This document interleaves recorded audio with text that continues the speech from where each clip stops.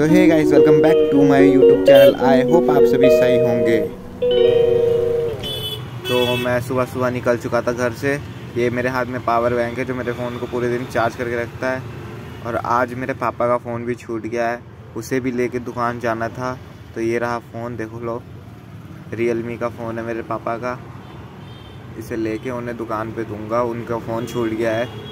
अब उनका फ़ोन दे के मैं अपनी दुकान खोलूँगा। मेन बात मैं करता हूँ, देखो गाइस मुझे लिफ्ट नहीं मिलती।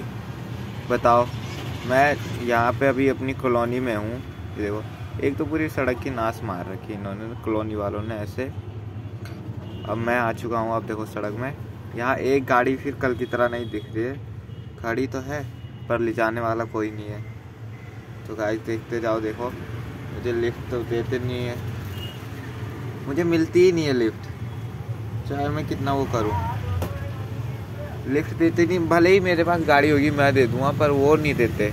ऐसा पता नहीं क्यों होता है मेरे साथ, या मेरी किस्मत में ऐसा है। जैसे मैं जा ही रहा हूँ। अब दो बंदे जा रहे हैं, एक तो मेरा दोस्त है।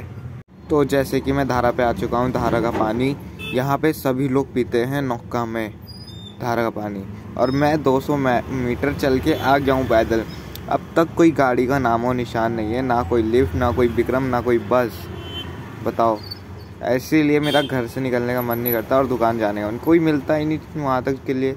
आप क्या करते हो अपनी दुकान जाने के लिए? कमेंट में बताना।